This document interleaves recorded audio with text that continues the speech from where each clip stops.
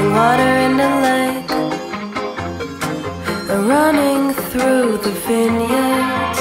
In July the grapes are green. Always a little scary edge. More so when the sun is setting.